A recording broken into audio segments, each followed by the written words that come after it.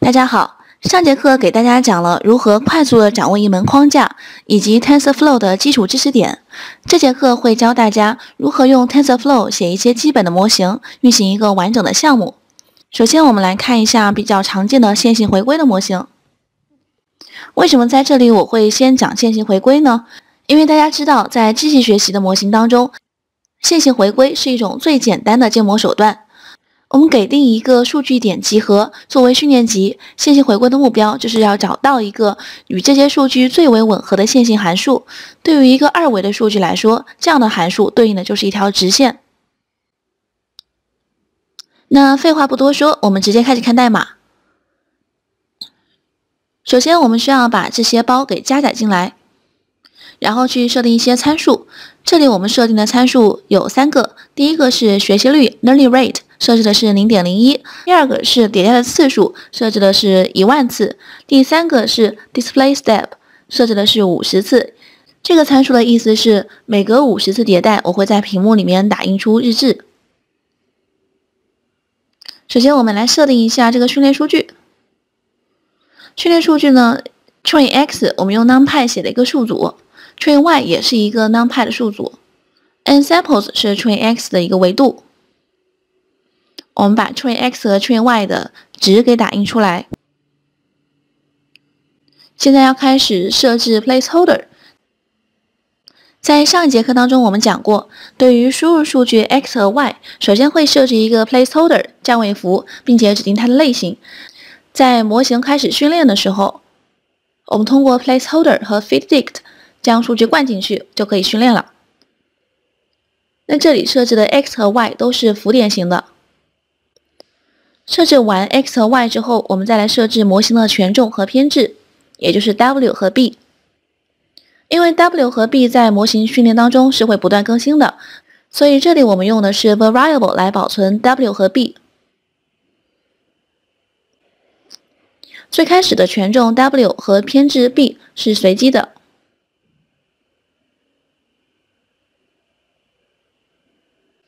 这个线性回归的方程非常简单，是 y 等于 x 乘以 w 加 b。multiply 这里表示的是 x 乘以 w，然后再把这个值和 b 相加，就是我们预测的值。再来设置 cost function，这里的 cost function 我们设置的是均方差，用 reduce sum 来表示。设置好 cost function 之后，我们会来设置梯度下降的方式。其实这里梯度下降的方式有很多种，在后面总结知识点的时候会给大家一一举出来。这里选择的是最方便的一种方式，我们是通过 optimizer 来进行梯度下降，指定了学习率，然后最小化 cost 就可以自动的修正。我们选择的是 gradient descent optimizer，这样一步一步的迭代。好，下面要开始训练了。在训练之前，我们首先要初始化所有的 variables，这一步非常重要。如果在训练之前不进行初始化的话，那在训练的时候就很有可能会报错。开始训练的时候，我们要首先启动一个 session，run 一下初始化的 variables，然后把所有的训练数据灌进来。这是便利每一次迭代的次数。这里的 train x 和 train y 是指两个列表，zip 的话就相当于把它们两个搞成了一个字典。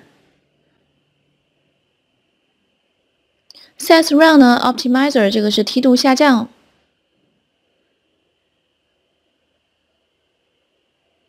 然后这里呢，这里的数据是一次性灌进来的，大家可以看一下。然后我们打印出每一次迭代的 log 日志。我们这里刚刚说的 display step 这个地方是指每隔一个 display step 设置的是五十，就会打印出一个日志。我们这里输出的时候会有三个信息，第一个是迭代的次数，第二个是 cost 下降的值，第三个是更新的权重 w，第四个是当时的偏置 b。当我们迭代完之后，就会显示 optimization finished，显示我们模型运行完成。最后，我们会通过做图的方式来看一下模型训练的效果。我们先来看训练的这些部分。大家可以看到，这里显示的是每隔五十次迭代就会打印在屏幕上面。每一次的迭代的话，它的 cost 都是在下降的。可以看到，从零点二二下降到零点二零，然后零点一九、零点一八。每一次的权重呢，也是在不断的更新的。当然，因为这个数值是非常小的，所以看起来更新并不是特别明显。我们这里设置的迭代的是一万次。来看一下最后。好的结果，这个运行速度还是非常快的。大家稍等一会。好，我们的结果完成了。当我们迭代到一万次的时候，这里就显示的是训练完成。那么总的训练误差就是零点零七。这个时候的 W 和 B 分别是零点二四和零点八零。看到这个作图。红点代表是原始的数据，也就是我们刚刚自己设定的 train x 和 train y。蓝色的线是通过我们的线性方程 y 等于 w x 加 b 来拟合的一条线。大家可以看到，这个红线的话，基本上是可以算是一条直线的，除了一些比较偏远的孤立的点，它的总体的形状上是呈一条直线的。当然，拟合的效果也并没有说非常拟合。下面呢，我们这个模型训练完了之后，用一些测试的数据来去看一下它的效果怎么样。同样，我们在这里的话也搞了一些测试的样本，也是通过 NumPy 写了两个数组，这些数字都是自己随机拟定的。Testing cost 也是通过计算预测的值和我们原始的 test y 的值。之间的一个均方差，然后我们会打印出这个 testing cost 的值，最后画出测试的图是什么样子的。刚刚已经一次性跑过了，这样我们直接看结果就行。这里显示的是 testing cost 是零点零七九，我们刚刚训练的误差是零点零七六，证明这个泛化效果还不错。可以看一下这个图，这个蓝色的点代表我们自己随便设定的一些测试的样本。蓝色的线表示的是我们通过这个点来拟合的线。这个地方其实可以看到泛化效果还是不错的，因为我们看到 training cost 和 testing cost 都是零点零七左右。如果说在这个地方 training cost 是零点零七，但是呢 testing cost 譬如说是零点五或者零点八，它们相差非常大的话，也就是说明你的训练的时候拟合的效果非常好，但是你在测试的时候拟合的效果很不好。说明我们这个模型拟合的效果非常的差，这个也是由多种原因造成的，后面我们会详细的讲解。那么这个模型的话，大家可以看到是非常简单的，我们前期的话只需要设定几个参数，学习率、迭代的次数，这个参数其实可设置可不设置，只是为了方便每隔五十次打印出来一次，显示在屏幕上面。后面的步骤都非常的常见。首先设置 placeholder，然后设置模型的权重和偏置，设定我们要拟合的线性回归的方程，并且指定一下 cost function。这里我们选择的是均方差。其实还有很多其他的，譬如在机器学习当中常见的 cross entropy，表示的是交叉熵，以及我们之前了解到的 SVM 的 hinge loss，这个都是 cost function 的一种。具体我们选择哪一种均方差，要根据实际情况来看。指定好 cost function 之后，我们就要定义选择用什么样的方式来进行梯度下降。也就是说，我们需要采取一种方式，能够让这个 cost 达到一个最小值。那么达到最小值的话，有多种方式。这个多种方式呢，也就是我们这里所选择的 optimizer。常见的像这种 gradient descent optimizer。也有基于重量的 optimizer、ADA grad 等等，每一种的方式呢，它都有自己的优势和劣势。大家先掌握一下这个整个流程就可以了。在运行之前，一定要初始化所有的 variables，这个非常重要。然后开始训练的时候，需要启动一个 session，灌入所有的训练数据，并且打印出每次迭代的 log 日志，输出我们的 training cost。那这是一个非常简单的线性模型。我们再来看另外一个例子，也是一个比较常见的手写数字识别呢，相对大家是非常常见的一个例子了。大家在网上搜的话，也可以看到有很多资料。这个数据集包含有六万张用于训练的手写数字的图片，还有一万张用于测试的图片。所有的图片的尺寸都已经被标准化了，并且尺寸为二十八乘以二十八。每一个手写数字的数据单元由两部分组成，不管是训练数据还是测试数据，它都是包含有一张包含手写数字的图片和一个对应的标签。这个标签代表是零到九。在这个训练的数据集当中，它是一个形状是六万乘以七百八十四的一个张量。第一个维度数字用来索引图片，第二个维度数字呢用来索引每张图片中的像素点。在这个地方的张量里面的每一个元素，都表示的是某张图片里的某个像素的强度值，介于是零到一之间的。零代表是白色，一代表是黑色。零到一之间的这个区间内的值，表示的是灰色。为了简化，每张图片已经被转化成一个一乘以七百二十八的一维数组，表示的是七百八十四个特征。数据集呢，大家可以在这个地方下载。这个是我们的 train images。也就是我们的特征，这个是 train labels，这个是测试的 images，这个是测试的 labels。好，现在我们直接开始来运行代码。同样的，我们先引入 TensorFlow 的包，然后加载手写数字的数据集。这个数据集的加载方式呢，已经在它官方的 examples 里面写好了，所以我们从 TensorFlow 点 examples 点 tutorials 点 mnist。引入 input data 去把这个数据集下载到本地，然后看一下，我们首先抓取了这个数据集，下载到了 temp data 文件夹下面。同样的，首先要设置一个参数，我们这个地方也是设计了学习率，设置的是零点零一，迭代的次数是二十五，batch size 是一百。这个 batch size 的意思就是，我每隔一个批量的数据，我把它放入到模型里面去训练。因为我们刚刚说了，这个数据集的话，训练集是有六万张，测试集有一万张。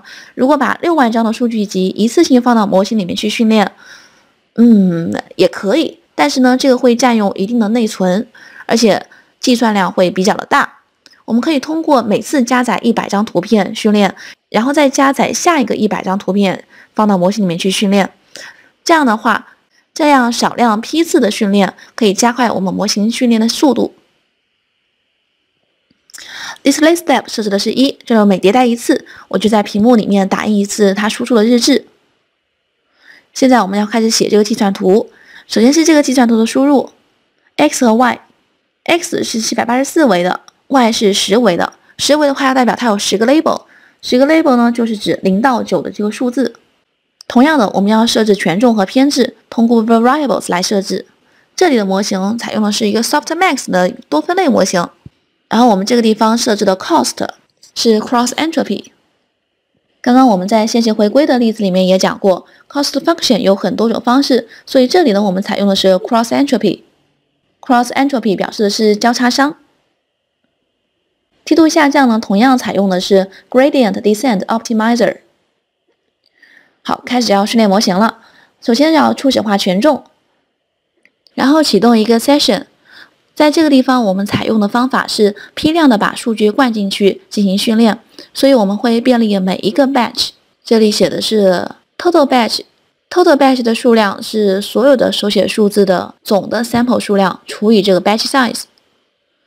那我们便利这个整个 batch 之后，每一个 batch 的数据都是通过 mnist 点 train 点 next batch。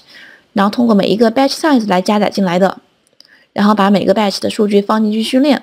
这里的 feeddict 的 x 和 y 就写的不是 training x 和 training y 了，而是写的是每一个批量的数据 batch xs 和 batch ys。然后我们会计算一下平均的损失。这个地方会展示每一次迭代的日志。所有的迭代次数完成之后，就会显示我们模型训练完了。给大家运行一下，迭代一次的时候，这个 cost 是一点一八，然后第二次的时候是零点六六，第三次、第四次，我们看到每一次迭代它的 cost 值都在下降，因为我们这里只迭代了二十五次，最后的迭代的 cost 是零点三三，所以它的总的正确率是零点八八。因为这个地方采用的模型非常的简单，所以大家可以看到这个准确率零点八八并不算特别的高。这个准确率其实跟迭代次数、学习率等等都有一系列的关系。我们这个地方改一下迭代的次数，譬如我们在这个地方把二十五改成一百，然后再来进行迭代，看一下迭代一百次之后它的准确率是多少。大家稍等一下。a，这个地方迭代了一百次之后，准确率提升了零点零一个百分点。上一次迭代二十五次的时候是零点八八，现在是零点八九。大家可以多尝试一下，当我们迭代次数足够大的时候，这个准确率是否会有进一步的提升，或者说学习率进行调低，我们这个准确率是否也会有进一步的改变？当然，这个都属于调参的技巧方面的问题了。在后面我们不断的给大家讲更多的实例的时候。会给大家讲如何来进行调参。这次课呢，主要是想通过这两个最基本的例子，一个是线性回归，一个是手写数字识别，来告诉大家做一个完整的模型，然后运行一个完整的项目，我们的整个流程应该是怎么样的。首先会加载这个数据，然后会设置一定的参数。这两步完成之后，我们会写一个计算图，把我们的 x、y 以及 w 和 b，包括我们要运行的模型的方程。以及 cost function 和 optimizer 全部都写在这个计算图里面，这样我们就可以启动一个 session，把我们写好的计算图放到这个 session 里面去训练了。但是在开始训练之前，我们首先要初始化所有的参数，这一步大家千万不要忘了。训练的方式也分为很多种，可以一次性的把数据加载进去进行训练，也可以通过批量的方式，每一次为一个 batch 的数据。